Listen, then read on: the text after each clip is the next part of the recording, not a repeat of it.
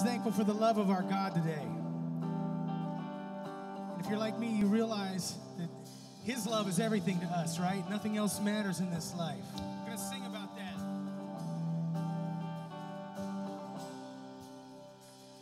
When I'm dry and thirsty, Lord, and I'm crying out for more, I know I can trust in your love. And in the darkness in the night, when I'm starving for the light, I know I can trust in your love. When I'm dry, when I'm dry and thirsty, Lord, and I'm crying out for more, I know I can trust in your love. In the darkness in the night, when I'm starving for the light, I know I can trust in your love. Cause you keep no record of my sin. Aren't you thankful for that? And you don't remember all my shame. Oh, no, no. Cause your love heals every disease. Your love fills my every need. Your love is everything to me. Your love is everything.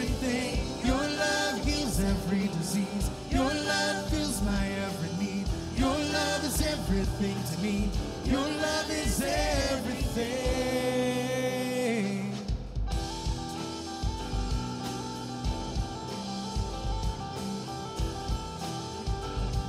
When I'm dry and thirsty, when I'm dry and thirsty, Lord, and I'm crying out for more, I know I can trust in your love.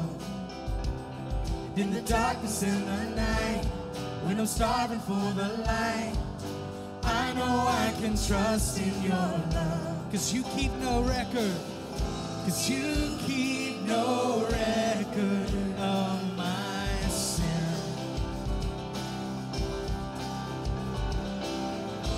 You don't remember all my shame, all my shame. Cause your love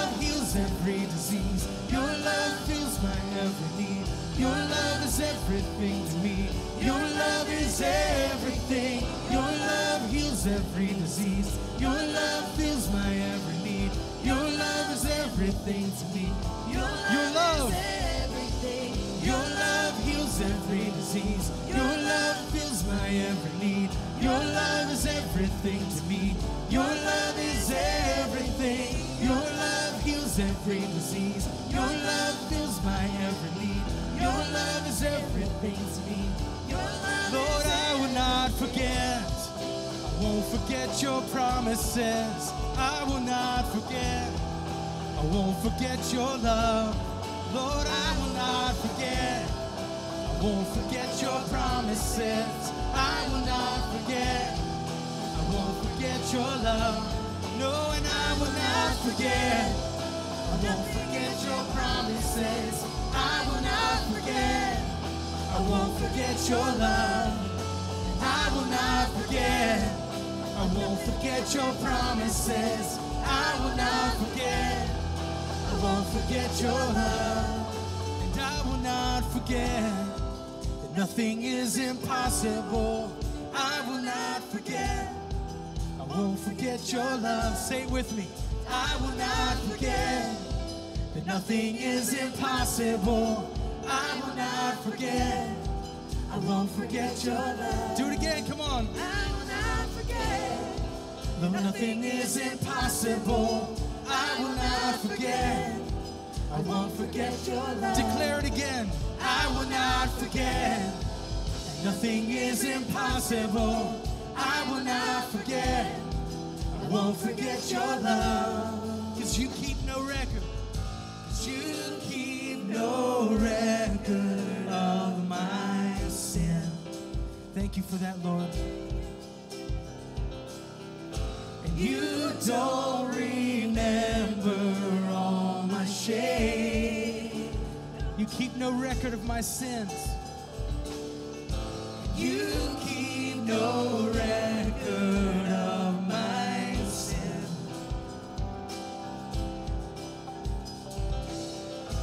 You don't remember all my shame,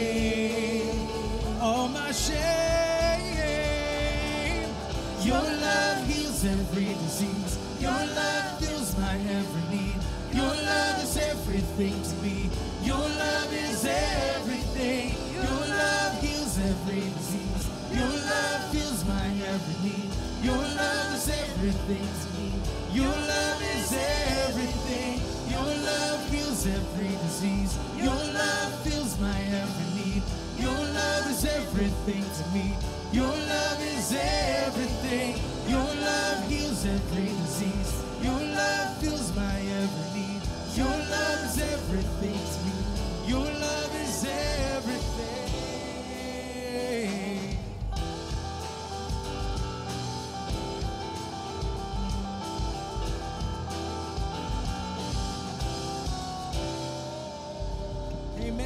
Love is everything, Lord. Thank you, Father. All right.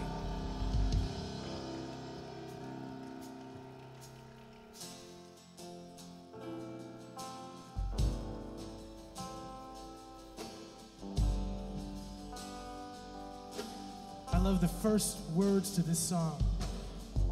It says that by his stripes we were healed. Amen. We just celebrated that big time last week here at Life Point. Let's sing it together. His stripes we are healed. By his nail pierced hands we're free. Amen. By his blood we're washed clean. Now we have the victory.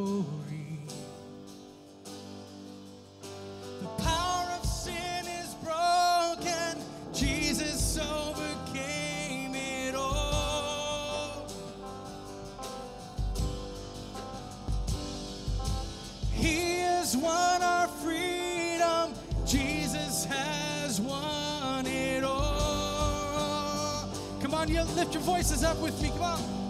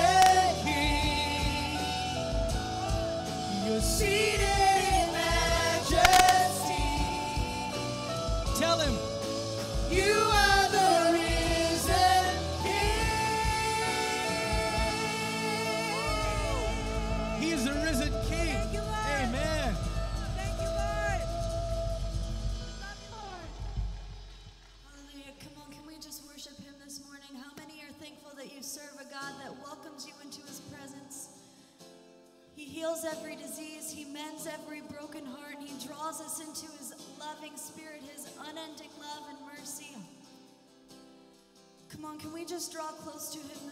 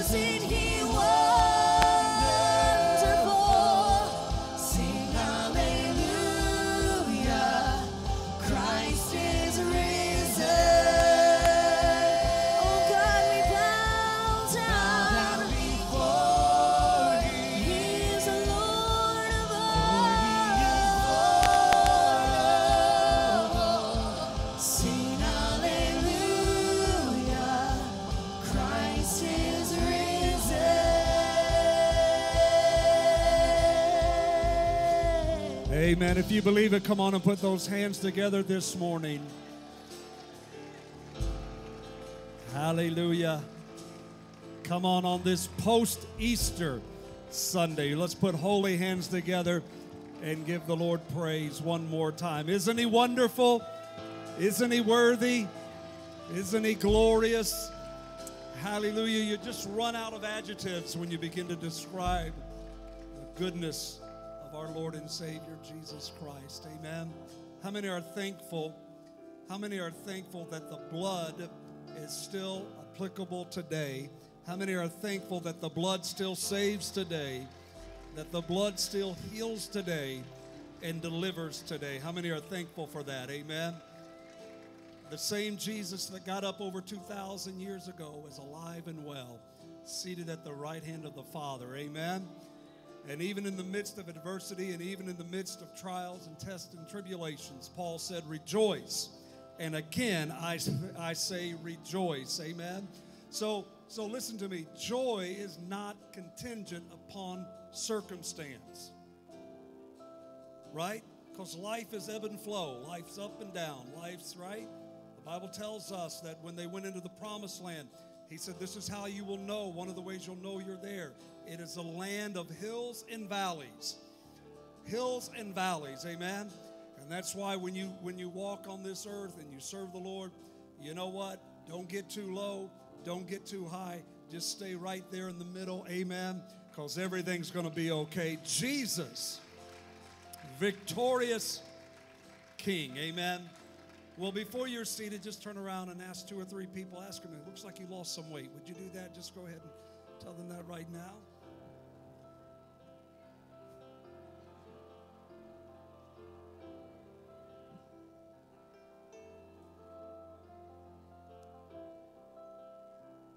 I don't know. Everybody likes to hear that, right? I mean, I like to hear that. Whether it's true or not doesn't matter. You just like to hear that. You can be seated in the presence of the Lord. It's good to be in the house of the Lord this morning. I'm going to ask uh, Jocelyn to join me on the platform at this time. And as she comes, would you welcome Jocelyn to the platform now?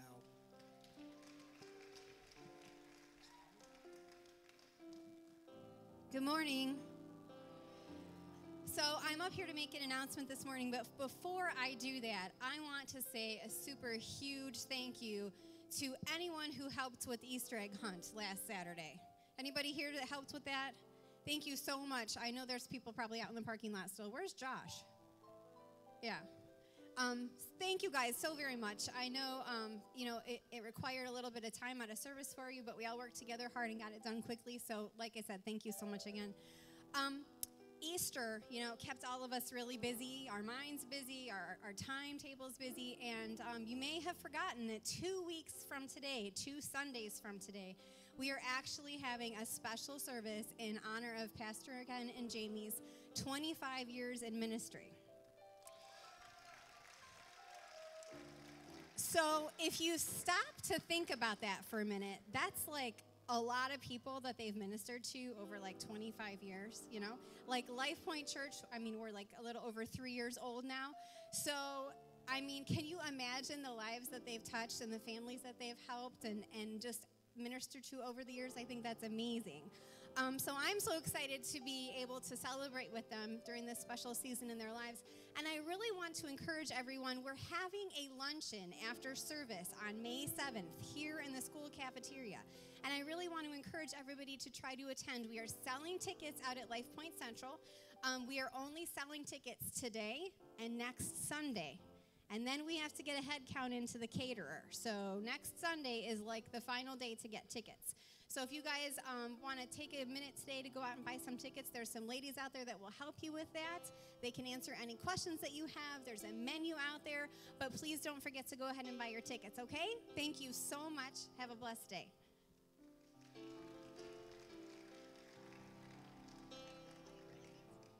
Amen. So it's amazing, you know. Um, like Jesus, started ministry when I was 12 years old. And 25 years later, that was supposed to be a joke.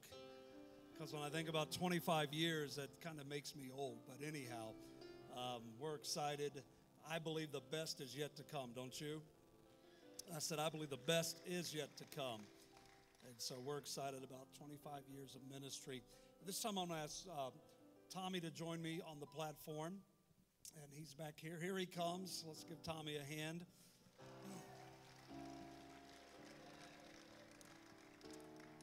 And, um, you know, part of, again, part of ministry is strategizing and just uh, planning and just preparing and just to how can we continue to reach out. You know, one of the things I say about our church being mobile um, is it allows us, in my opinion, to remain missional.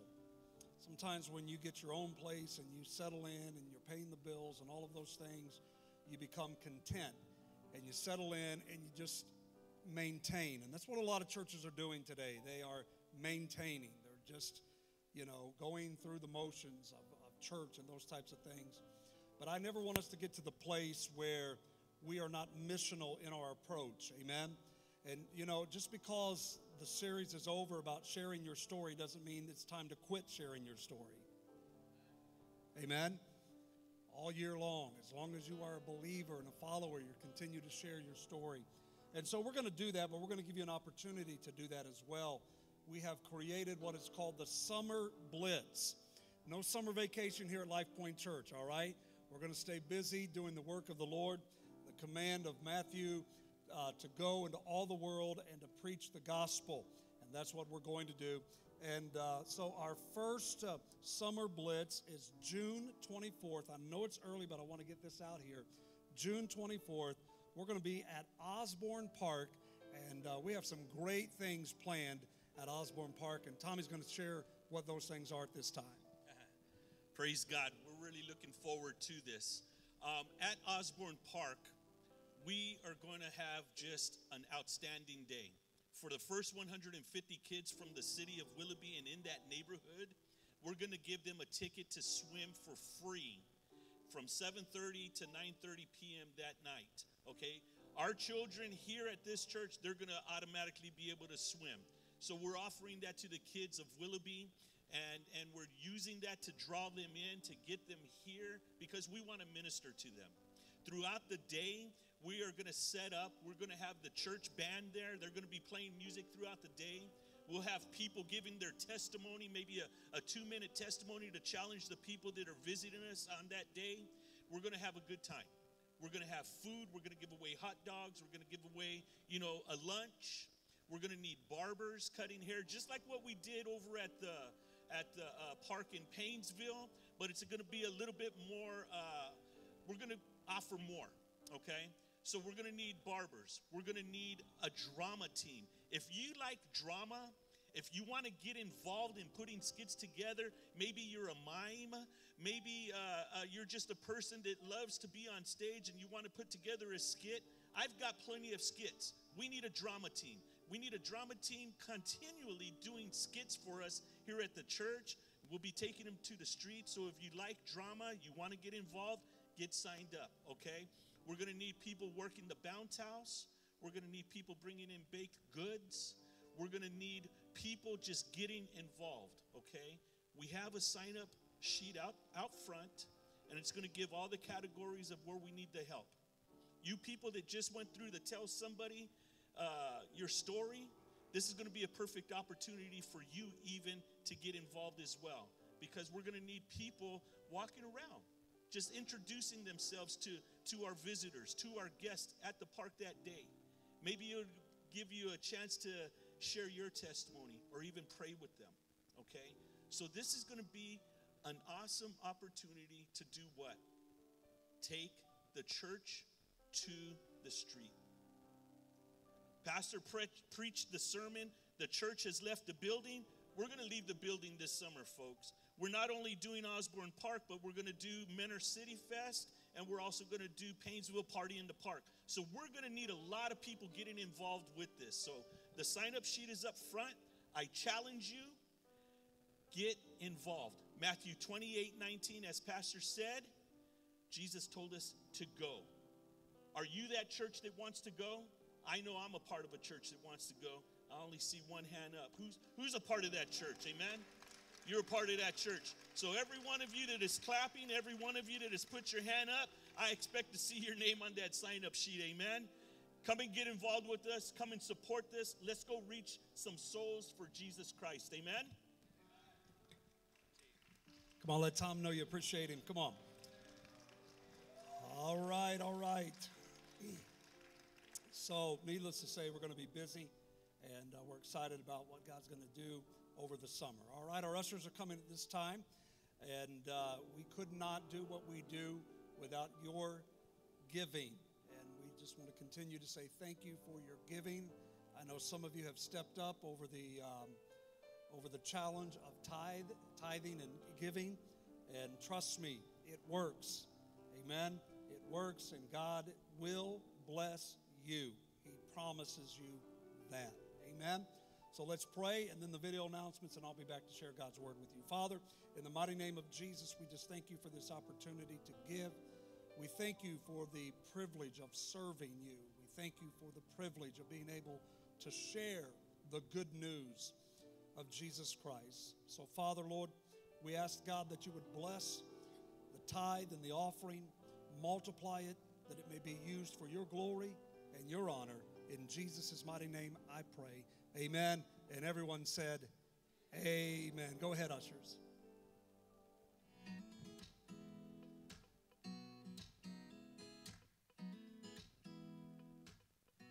Good morning, Life Point. I'm Marisa, and welcome to Life Point Church. If this is your first time at Life Point, we're so glad that you're here. We want to say a special thank you and ask that you stop by our Life Point Central in the front lobby and pick up a special gift that we have just for you.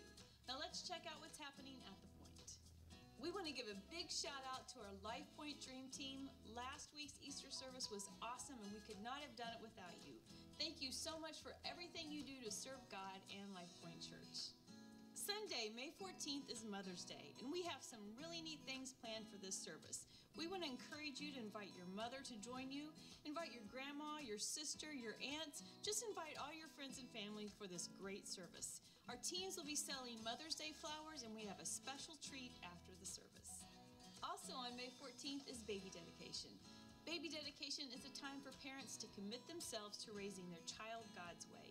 It's a powerful time for parents to embrace the responsibility that they've been given by God and catch the vision of the impact they can make on their child's life. This is a great time to invite your family to celebrate with you, so stop by LifePoint Central and get your baby registered today.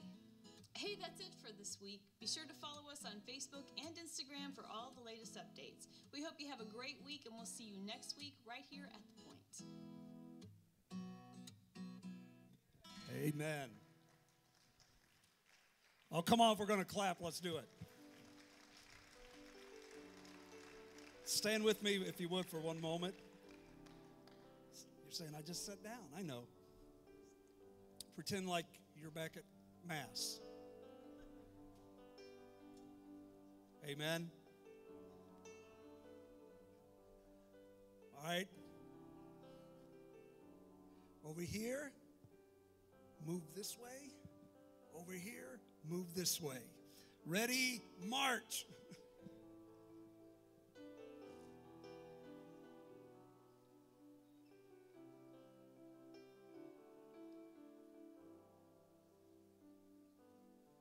Keep coming, church. Keep coming. That's much, much better. Now give yourself a hand. Would you do that?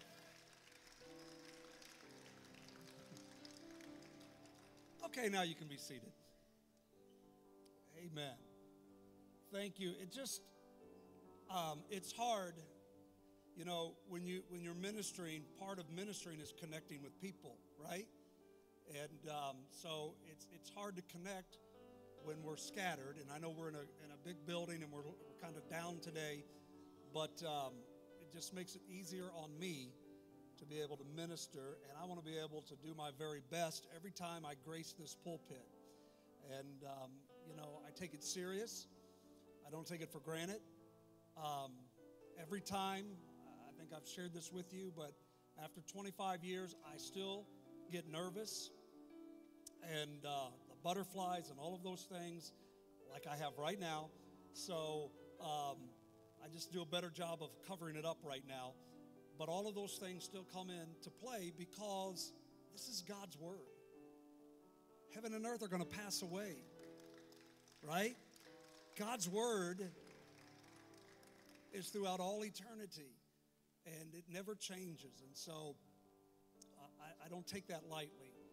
The assignment that God has placed upon my life, I'm going to stand before God and I'm going to give an account for every word that I have ever spoken behind this sacred desk. Every word, I'll give an account for. Um, when you think about that, that's pretty heavy. That's why the Bible says that those who who teach really need to make sure that's what they're gifted and called to do. Thank you, hon. Bless you too. And um, you know, and someone say, "Well, you know, that's that's tough." And what it, God's grace. Whenever God gives you a gift, His grace accompanies that gift. And remember last week, my grace is sufficient for all things. All right? So just sharing a little bit from my heart to you uh, about that. And um, so, like I said, it, it just uh, helps me and uh, to be able to minister to you. We're going to begin a new series today. Amen. How many are excited about our new series, Will I Am? Will I Am. And some of you are like, well, what is that about? We're going to be talking about how to discover God's plan and God's purpose for your life. Now, you may already know that, and that's great, that's awesome, and we, we praise God for that. Or maybe you're in another season of your life and you're like, okay, Lord, I'm not sure where I'm at right now, and I'm not sure what you want me to do with my life at this point. Because seasons do change. And so, hopefully, over the next few weeks, we're going to be able to discover some things that are going to help us understand the plan that God has for our lives. How many are with me on that? You want to know God's plan for your life? Amen. So hopefully we're going to be able to discover that. So just stretch your hands towards me one more time.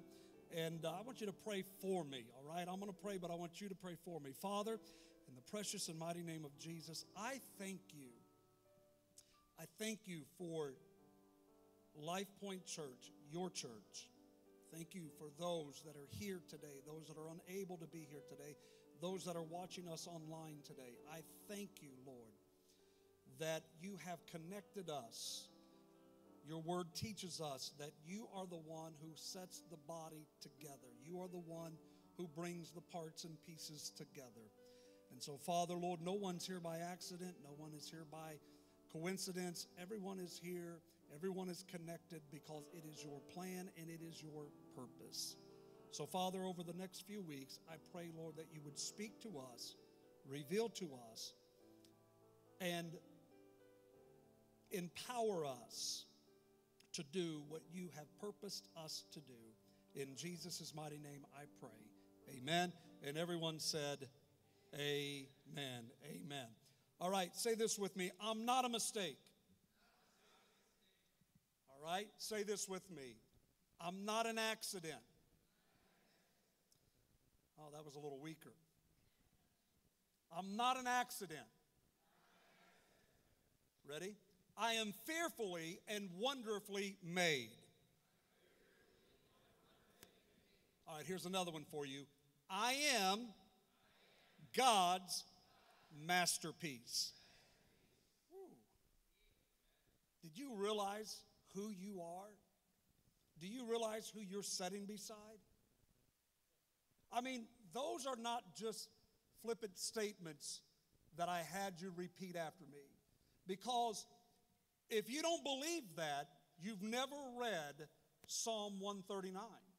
Because what I had you repeat is exactly what Psalm 139 says about you.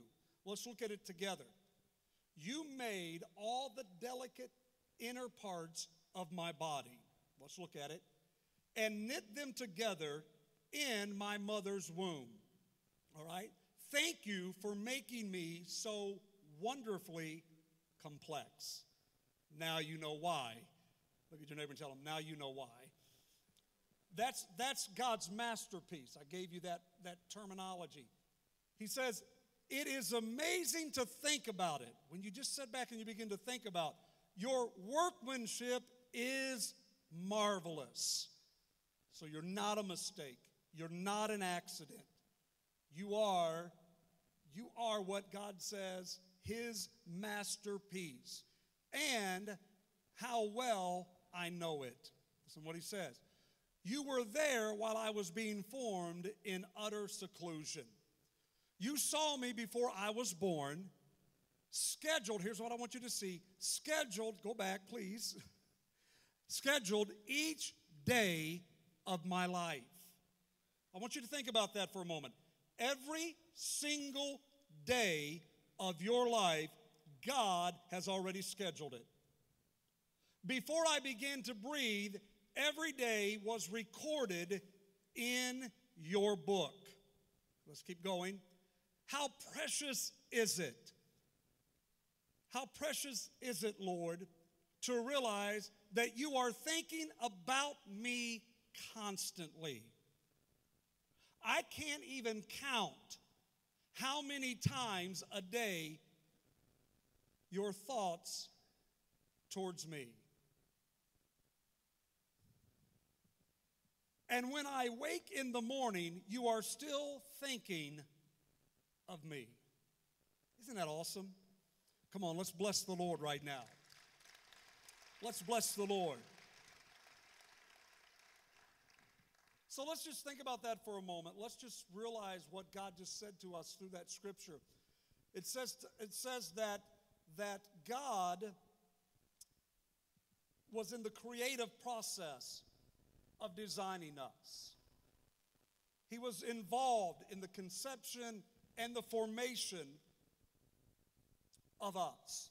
But not only in the conception and in the formation of us and in the creative part of us, but God is still actively involved in us and with us. God created us with a purpose in mind. And if you have a pulse today, you have a purpose. Amen. God has a purpose for your life. God has a plan for each and every one of our lives. Here's the neat thing about that plan. I just read it to you. God has already recorded it in a book. God has written a book about each and every one of us. God has recorded a book. And every day, God looks at that book, or God has that book in mind about our lives. And then it is our responsibility to discover His plan and His purpose for our life and begin to live our life according to His purpose and according to His plan. Remember when Jesus walked into the temple and the Bible said that he walked and he opened up and he began to read, The Spirit of the Lord is upon me. He has anointed me to preach the gospel. He has anointed me to heal the brokenhearted, to give sight to the blind, the recovery. Remember that in, in Luke's gospel? The Bible said he found the place where it was written of him. And when he found the place and where it was written of him, he began to proclaim the things that God had spoken concerning his life. So you and I have to do the same thing. We have to find the place in which God has written about us, begin to proclaim those things about our life, and then begin to live those things out. Because after Jesus began to proclaim those things, he closed the book and he went about doing what God had purposed for him to do. And so when we find that place, then we begin to go and do what God has called us to do. So if God has taken the time to meticulously create us and to write a book about us detailing his plan for our lives, doesn't it go without reason that then that that this is something that God would not conceal from us, but rather this is something that God would reveal to us. In other words, if God was going to take this amount of time and detail about our lives, do you think that God would do all of that and then hide that from us? Do you think that God would write a book about your life, every day of your life, because He knows the end from the beginning? Do you think that God would take that much time and thought and preparation and then hide that from us? No, God doesn't work that way.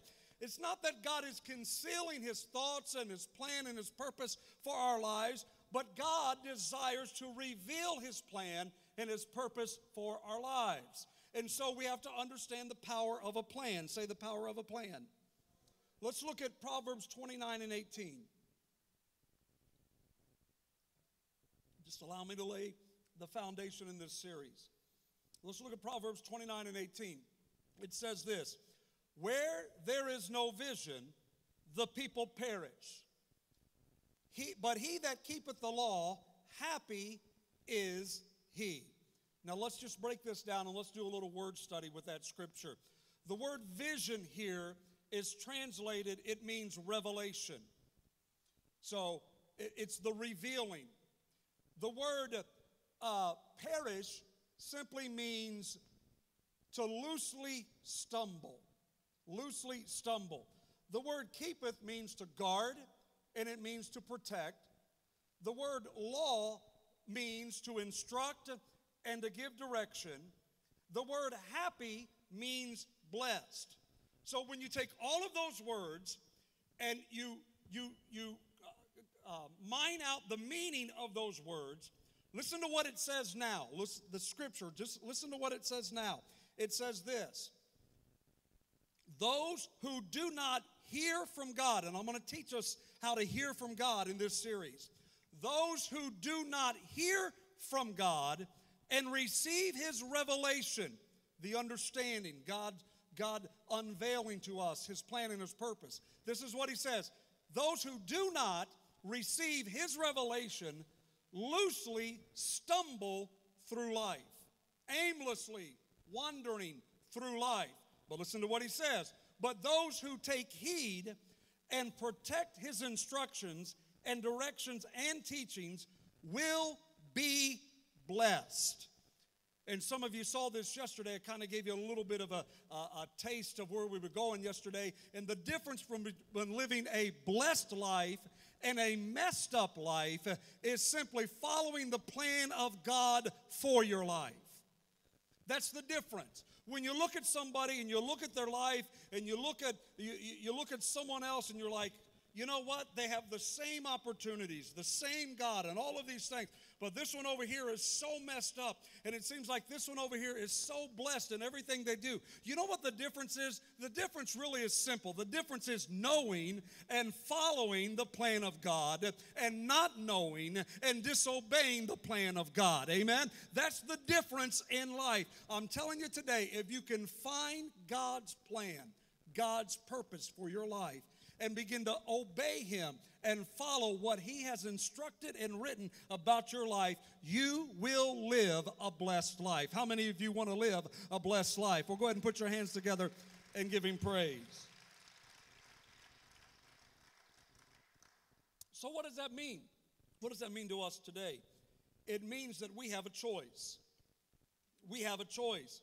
We can continue to live without hearing from God and stumble our way through life, or we can take the time to learn God's plan for our life, to obey what He tells us to do, and receive His blessings of living a life of vision.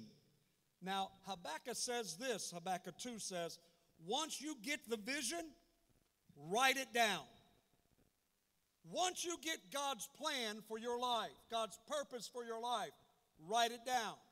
There's something about taking what God has revealed to you and writing it down. It's called a vision statement. Hello? So, in essence, what you are doing is you are writing the vision statement that God has for your life. Write it down, put it where you can see it, put it where you can go back and look at it and study it. So it will let you know whether or not you're continuing on the track and the path that God has outlined for your life. Write it down so that they, when they read it, they can run with it. Okay? So, if that's the, you have to write that vision down. What God wants from us in this process is God wants us to find His plan, God wants us to follow His plan, and God wants us to finish His plan for our lives. And this is accomplished through the vision that God has for, with your, for your life. Why? Because without a vision, the people do what? They perish. They stumble through life. Now, one of the greatest revelations in finding God's plan and understanding God's plan for your life, it's a very simple thing, and it's simply this God leads us in steps. Look at your neighbor and tell him that. God leads us in steps. God does not lead us in leaps, right? Hello? Remember, you say amen, we get through this quicker? So God leads us in steps, not leaps. If I want to get to the other end of this platform, uh-huh, I'm going to have to take steps to get to the other end of this platform. There is no way humanly possible that I can leap from here to there. Right? All right? Same thing in the spirit. It's not that you leap from this place to that place. God God leads us in life by steps. There are no big steps, there are just the steps that God has given us. Amen. And and and, and it comes like, you know, life comes to us in stages. Amen. In other words, you're not born an adult. Revelation, right? Newsflash, right? We're not born an adult. We are born an infant. And then we go through the stages, the steps of life. And when you're born, just in the natural, uh, you're in the mama stage. How many of you know what the mama stage is? Two of you. Okay, that's why I wrote it down. I'm going to talk about it. The mama stage is that child, that infant, is dependent upon mama. Everything that he or she receives at that moment or that time of their life is from mama. There is a huge dependency uh, upon mama. And when they're away from mama, they begin to cry. And when mama's present, things begin to settle down. That's the mama stage. And what happens is there's a dependency that begins to develop. They begin to depend upon the mother to take care of their needs. All right? Same thing spiritually. When you become born again, there's a dependency upon us and our Creator, the one who gave birth to us in the Spirit. Amen? Jesus Christ. There's a dependency that we have upon Him. And we learn very early on that we must depend upon Him for everything.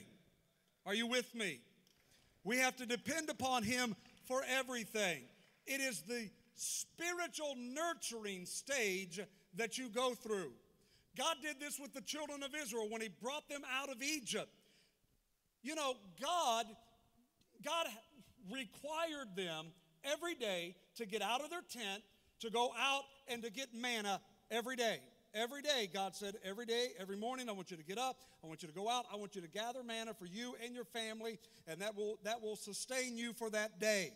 And on the seventh day, they were to rest. They were to collect enough on the sixth day. So the seventh day was God's holy day. They were to rest and to, and to just enjoy God's presence. Now, what was God doing? God was teaching them dependency upon Him. He said, because you're going to grow in this stage. And He said, there's going to come a day that you're going to go into a land that's flowing with milk and honey. He said, there's going to come a day that you're going to a place where you're going to begin to reap things that you didn't plant. You're going to reap homes that you didn't build. You're going to reap vineyards that you didn't plant. But I always want you to know this I am your source. I am the one who blesses you. And if you learn that early, when you get to that stage in your life uh, and things just begin to manifest in your life, you know that came from God. That's, that's, that's daddy blessing me, amen? And it's not something that you say, I did this, but you know he is your source. Look at your neighbor and say, He's your source. now, I am the youngest of three, okay? I have an older brother and I have an older sister. And so I'm just going to put it out here.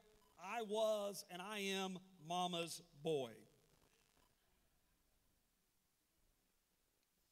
Because you know, you, you go to a stage where I, I call it the school stage. You start school. And there's a lot of anxiety that begins to take place in the school stage, right? Anybody know what I'm talking about? Okay. Uh, I remember the first time that Jamie and I took Brittany to her kindergarten, the very first day.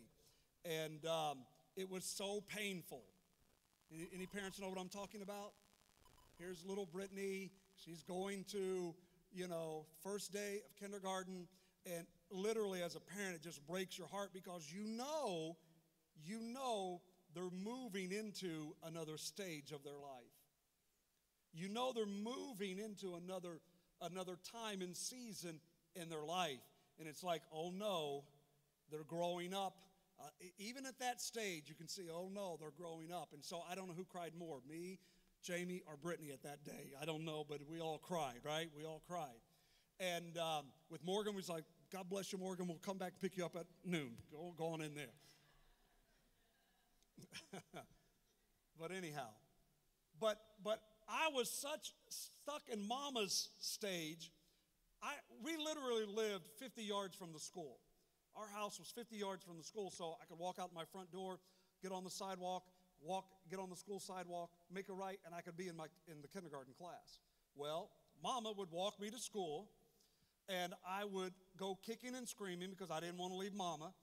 And um, I would walk through the side door, I'm not kidding you, walk through the side door, sprint out the back door, through the back part of the school, through the backyard, and I would beat mom back to the house.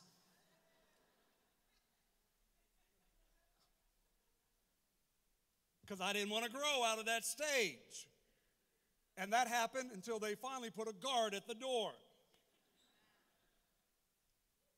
So, you know, I had to learn to grow. And there are times God says, okay, it's time to grow a little bit.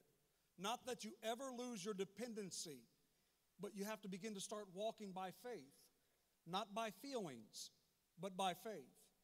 Because God's taking you into the stages of your spiritual development and life with Him.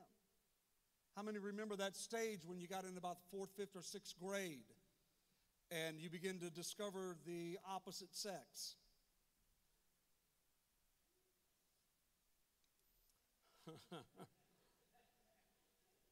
Ooh, I got you. I see you.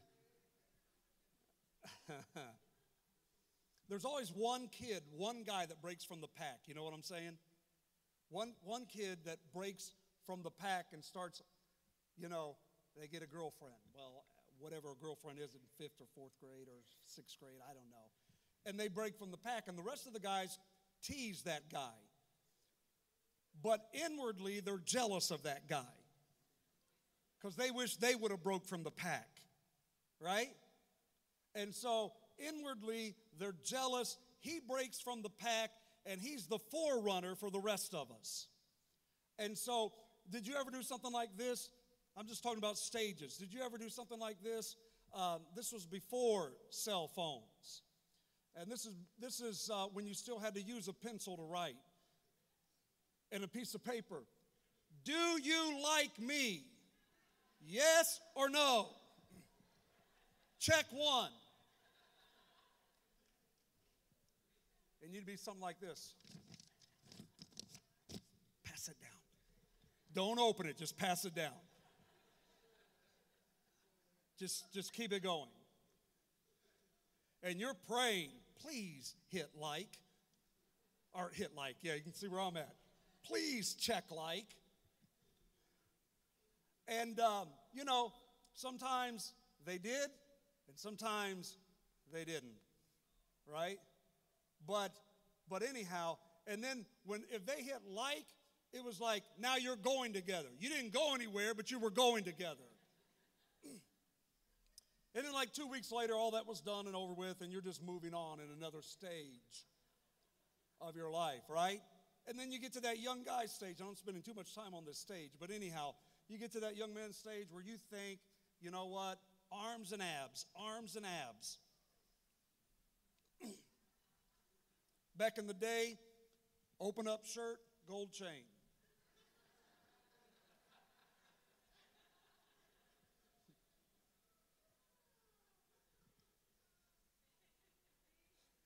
I know I'm dating myself. Arms and abs become flab because you're going through a different stage, right? You just, and then you get to that stage of where you're mar- you get married and you have that nice little sedan that you and your spouse are just cruising around town. And, and then one day she says, honey, guess? What? I'm pregnant. Ah, there goes the sedan, and now we have a minivan. Hey guys, how many of you know you're never cool in the minivan no matter how cool they describe the minivan? It's a minivan.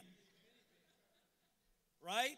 It's a minivan. And I, I, it's getting pretty smoky up here. Someone might want to help me out here. Um, it's a minivan. It's not cool.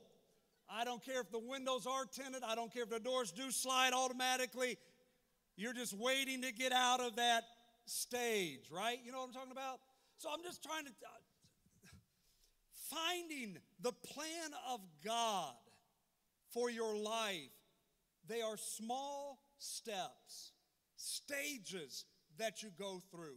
Now, my recommendation, and I didn't do this, but I'm trying and I'm learning. My recommendation to us would be enjoy every stage that you find yourself in. Enjoy the mama stage because it's not always going to be that way. Enjoy the school stage because it's not always going to be that way. Enjoy the young stage and the adult. Just enjoy every stage because you know what? Sometimes we find and we know you know, the end. We can see the picture. This is where God wants me. This is what I believe God wants to do in my life. And, and so we keep our head down and we just keep plowing and we keep moving and we keep going forward and we never stop to enjoy the process of the journey. God says, The reason that I'm that I'm taking you through this in stages is not so that you can, not only that so that you can just learn and grow and develop, but I also want you to enjoy every stage and every step of your life that I have ordained for you. God desires for us to enjoy them. Look at Psalms 37, verse 23. You know the scripture. The steps of a good man are directed by the Lord. Watch this. He delights in what? God takes joy. God enjoys every step that you take for the plan that He has for your life. So I would say to us today don't get anxious. Don't get ahead of God. God's plan for me is better than my plan. God's plan for me is better than my plan. Small steps lead to the plan and the perfect will of God. Small steps. Here's a secret, here's a key. Treat little steps like it's the biggest door in the world.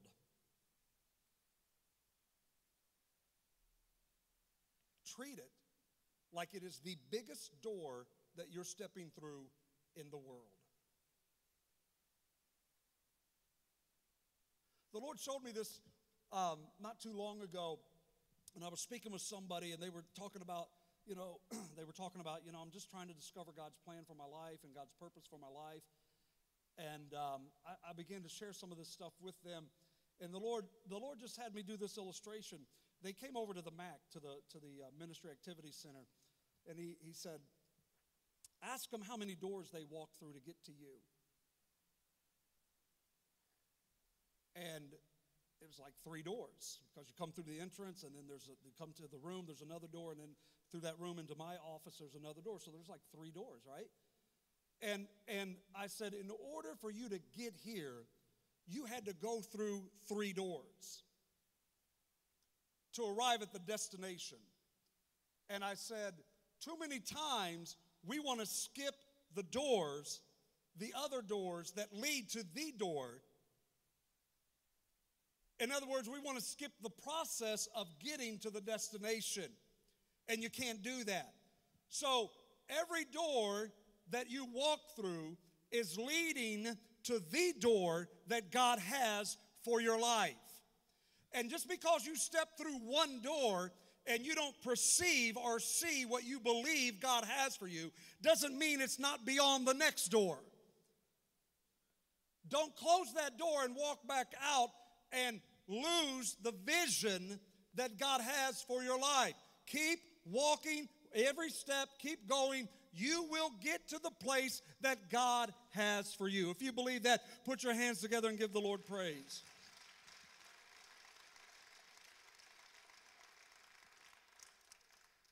Um, so you have to treat every step, every small step, like a great opportunity. Why? Why do I need to do that? Um, let's just let's just because we're here and it's church. Let's just take this. You know, um, we may ask you, hey, would you serve uh, as a as a usher or a greeter? Would you serve as an usher or a greeter in the church? Let's just use this as, as an illustration. And, um, and you say, yeah, yeah, but that's really not what I feel God's called me to do, but, but I'll do it. Your attitude makes all the difference in the world. How you handle that makes all the difference in the world.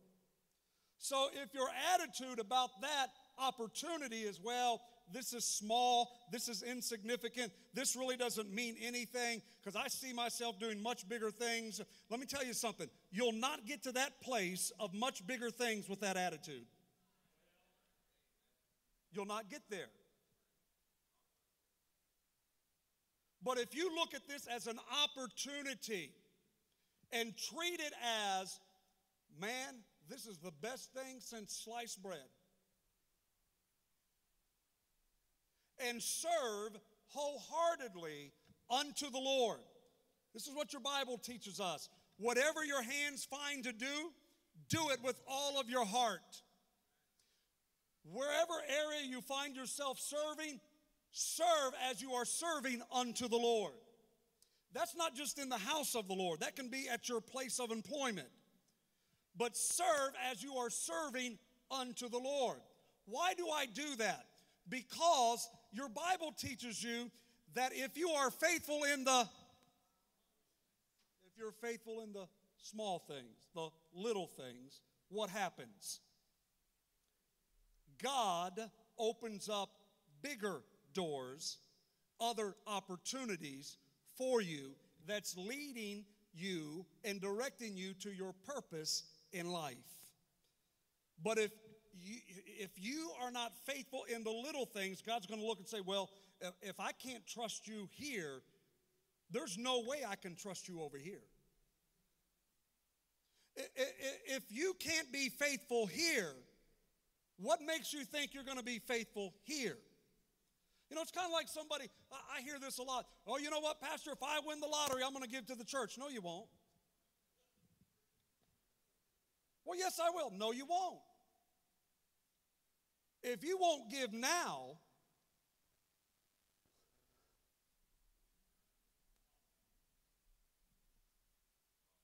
because you're going to find something else that you want over here, right? Oh, it's quiet, it's quiet, quiet, it's real quiet.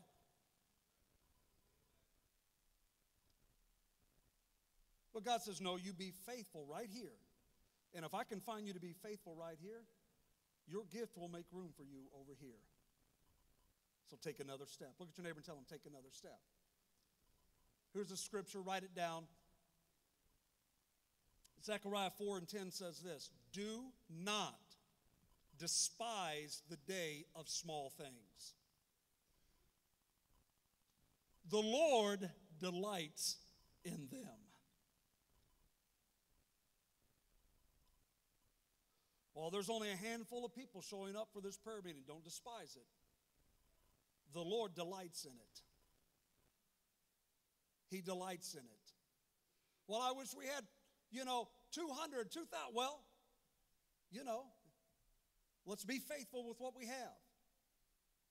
Let's, let's take delight in it.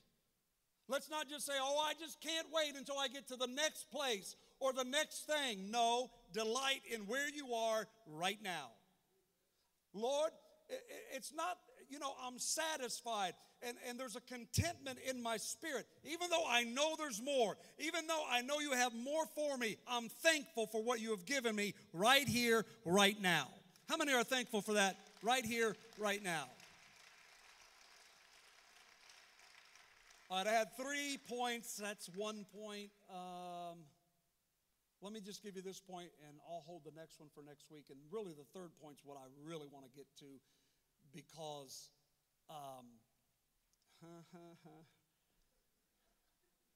because um, we all have done this. What happens, I'll just, I'll throw it out here. What happens when I misstep? If God is directing my steps, then what happens when I misstep?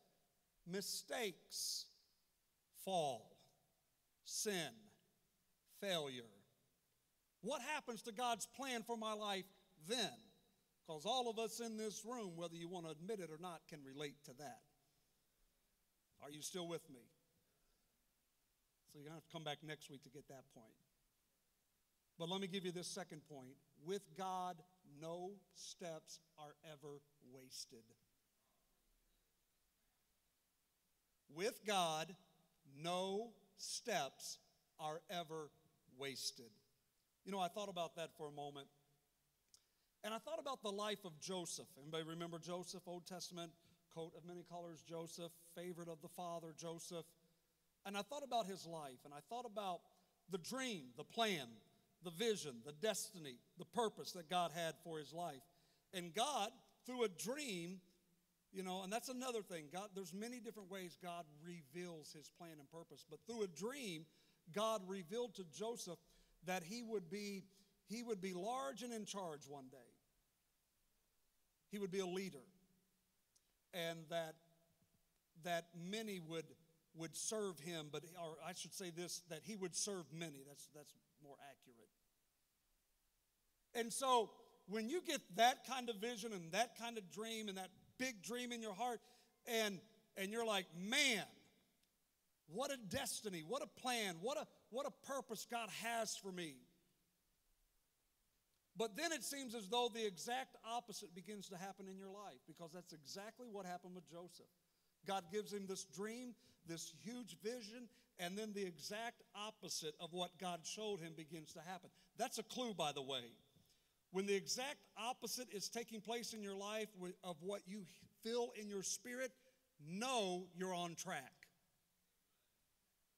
Know you're on the right path. God uses those times as teaching moments in our lives. Think about this. Um, think about when Joseph was in prison. Think about the fact that in prison, Joseph learned how to deal with deceptive people. In prison, Joseph learned, believe it or not, the food service and feeding people. He learned that in prison. He was falsely accused, he was imprisoned, but he learned while he was there. Let me tell you something. Whatever state and stage you find yourself in life, you can learn. And you need to be growing and you need to be learning. Amen? He learned how to manage in prison. He learned how to manage resources that he would later use on a national scale. He learned that in prison. There are no wasted steps with God. He learned this in prison. He learned that God was with him every step of the way. Because the reoccurring theme in Joseph's life was this whether he was at home, whether he was in the pit, whether he was at Potiphar's house, whether he was in the prison, or whether he was in Pharaoh's courts, this is what the Bible says. And the Lord was with Joseph. And the Lord was with Joseph. And Joseph learned no matter where I find myself, no matter where I find my, my, no matter where I find myself or where I find myself in, Joseph said, I know that the Lord is with me. God is with us in the good times and the not so good times, church. God never leaves us and God never forsakes us. There's never wasted steps including the ones that seem as though we're going backwards. Anybody ever feel that way? God will use every step of your life for his purpose. Because there are seasons in your life, I promise I'm almost done. There are seasons in your life where it appears as though you are taking a step back and you're not moving forward. You know the old expression two steps forward, three steps back. Allow me to paint a, just another perspective of that. And I, the Lord gave me this illustration actually for Morgan one day. And you remember when I prophesied about the slingshot? Some of you remember that? Um, because sometimes, church, instead of taking steps forward, God will put you in his slingshot and he'll start pulling you back and pulling you back and pulling you back. And when you start looking over the landscape of your life, it doesn't look like anything you perceived or thought it was going to look like. And when you start looking over the landscape of your life, you thought, you know what? I pictured myself a lot further at this point in my life than I am right now. I believe I heard from the Lord. I believe God gave me this and put this in my heart. And that's the case with Joseph. It seemed as though God kept pulling him back and back and back and back, where it looked like the dream was never going to happen. I want you to put yourself in Joseph's shoes. Would you think for a moment that you were taking steps towards that dream, or would you think you were taking steps away from that dream based upon the circumstances and the situations of his life? I can answer that question for you. It would seem as though I am walking away or back from that dream rather than walking towards that dream. But there are no steps, amen, that God cannot use in our lives. Amen. Every step has a purpose. Every step back that Joseph perceived was a step back, was a learning moment for Joseph. God taught, God taught him, You can trust me, Joseph, no matter what you find yourself in. You can trust me, Joseph. God taught him that I am your source and not man. God taught him, I can deliver you out of any situation that you find yourself in. God taught him this there are no ill will, ill will people that can keep you from receiving the plan and the destiny that I have for your life. Somebody needs to hear that right now. There is not a person that can rob you from the plan that God has for your the only person that can do that is you. No person has the power to rob the plan that God has for your life. And God taught Joseph that.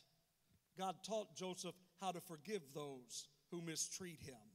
God taught Joseph how to release bitterness, how to release all of those things. Can I tell you, Joseph learned more about life by what perceived to be taking steps backward than anything that, that appeared to be positive in his life.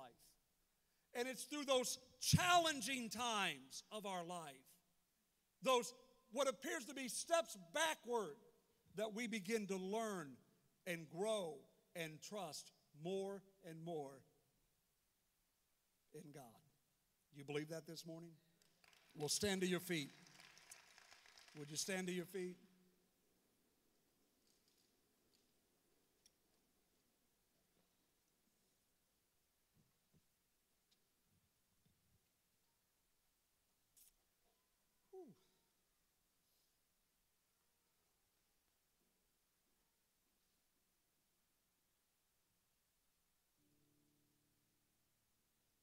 Look at your neighbor and say, Neighbor, with God, no steps are ever wasted. None. Because even backward steps are ordered of the Lord.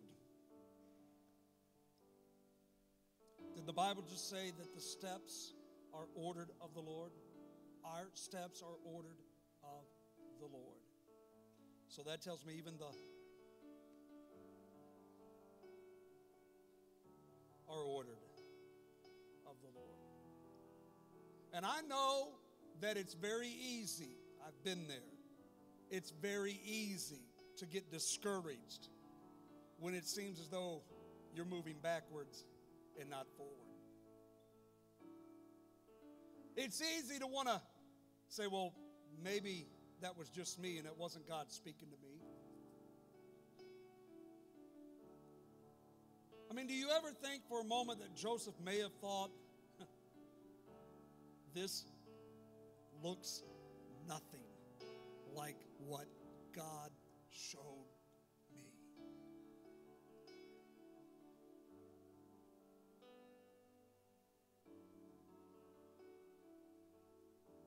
hears God whispering in Joseph's ear, Trust me.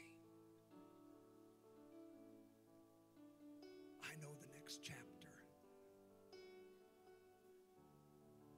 I know the next paragraph. I wrote it.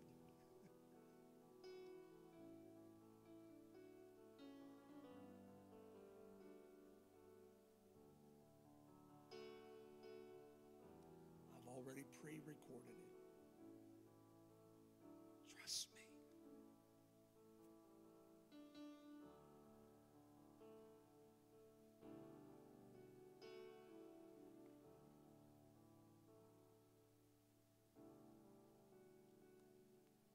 Just allowing the Holy Spirit because He's speaking to hearts right now. Trust me.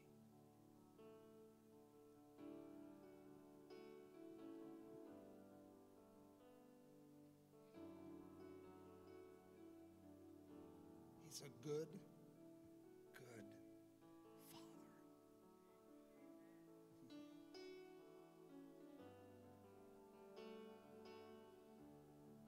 Jeremiah, tell my people, I know the thoughts that I think towards them. Tell them, Jeremiah, that they are good thoughts and not evil thoughts. Jeremiah, tell them that I have a plan and a purpose for their life. And tell them, Jeremiah, even though it's been delayed, and we'll get into that next week. Tell them, Jeremiah, that I have not changed my thought towards them one bit.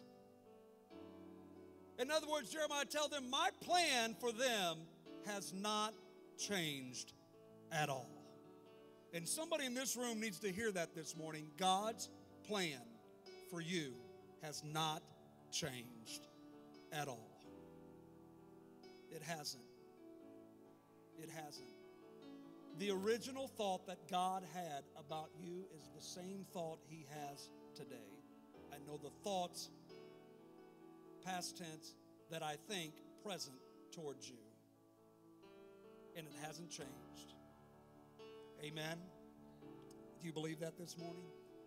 Well, let's worship the Father as we dismiss today. And if you need prayer, if you need prayer for anything, our altar workers are going to be here. I just need some prayer this morning, Pastor. Well, come on, we're going to pray with you. I, I, I want to know God's plan for my life. Well, come on, we're going to pray for you. Come on.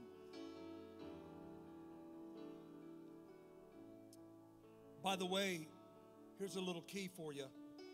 If you want to know God's plan for your life, get to know Him. Right? If you want to know God's plan, get to know Him. How many of you have an owner's manual in your car?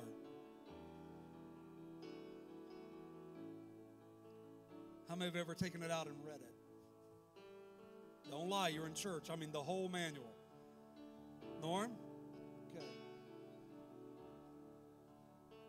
How many of you know that the designers of that vehicle know more about that vehicle than you do? Right? The engineers and all of those who put it together and they wrote the manual, they said if you want this thing to run at maximum impact, this is what you have to do. This is what you can't do. And if you're reading that manual, don't do this, and you do this, how of you know you're going to have some trouble? Yes.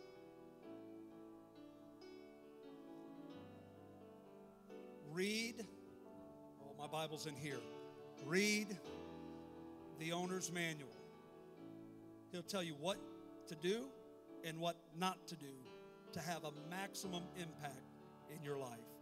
You believe that today? Get to know Him. Get to know Him. Get to know Him.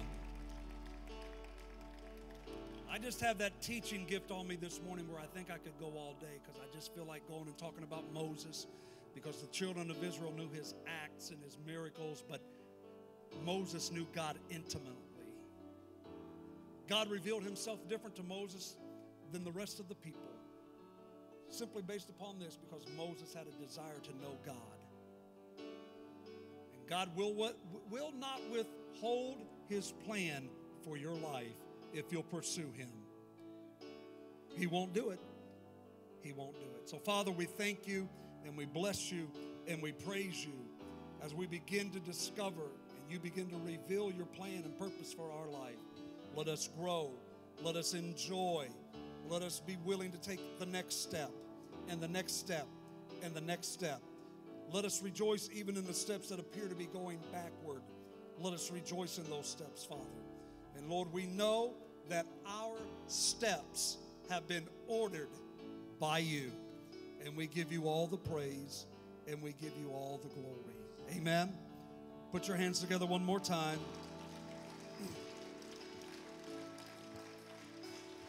We're going to sing He's a Good, Good Father. You can stay and worship. If you need prayer for anything, I want you to come.